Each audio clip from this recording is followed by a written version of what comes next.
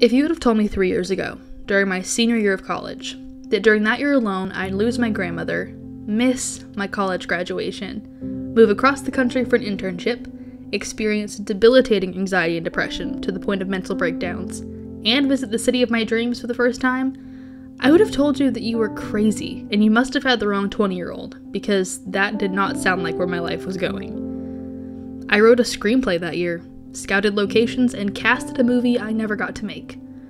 And all of those horrible and beautiful things did happen in 2017. But it was okay. I was okay. We were all moving forward.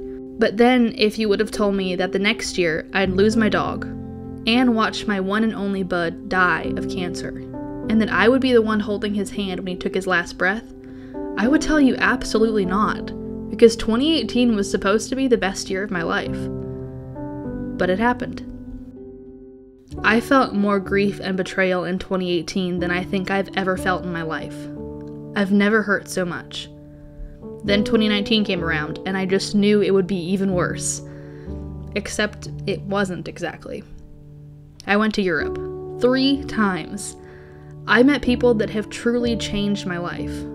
And I had the time of my life with the best friend I will ever have. So the expectations for 2020 were pretty high. It had to be the best, right?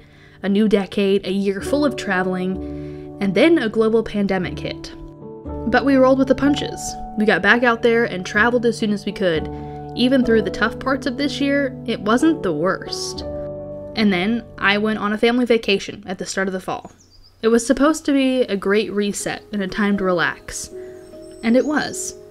This incredible lady and I have a great time together no matter what. But I hope you know that our life, as fun as it seems, it's not perfect. Ever since I watched my granddad die right in front of me, I felt like I was stuck underwater. I thought I healed. I mean, it's been two years. But really, I've just learned to breathe with water filling my lungs. I'm still drowning. There's no way for you to know my story unless I tell you. But I've shared those dark parts of my past before, and I've never been more betrayed. So you'll probably only get smiles and the tales of joy that I've so carefully rehearsed for you. But I'm still broken. Some days I wake up and look in the mirror and wonder why on earth I'm even here.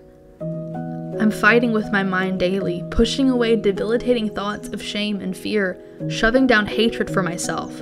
I throw on some earrings and walk out into the world with a perky spirit and personality. But I still feel like I'm losing. If this vacation to the beautiful Tennessee mountains taught me anything, it's that slowly drowning is no way to live. Curled in a ball under my bed sheets, muffling my tears, is barely surviving. 2021 is a mystery I don't even want to think about right now. But I have decided that I'm only making one resolution. I'm tired of letting myself slowly wither away, scared to ask for help healing the gaping wounds in my soul. I'm tired of being afraid of everything and everyone. So, Lord, all I'm asking is that in this next year, you allow me to accept that life isn't perfect.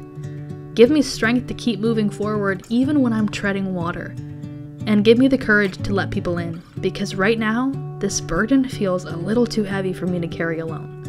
I hope you all know that we're in this with you.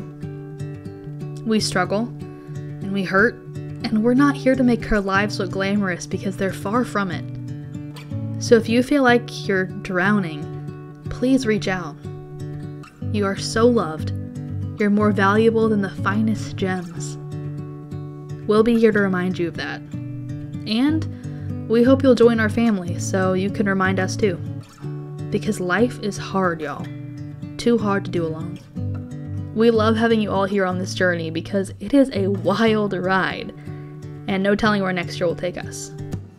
We love each and every single one of you out there who are watching this video right now. And we hope that you will subscribe to join this grand adventure. All of the ups and downs and twists and turns that it takes.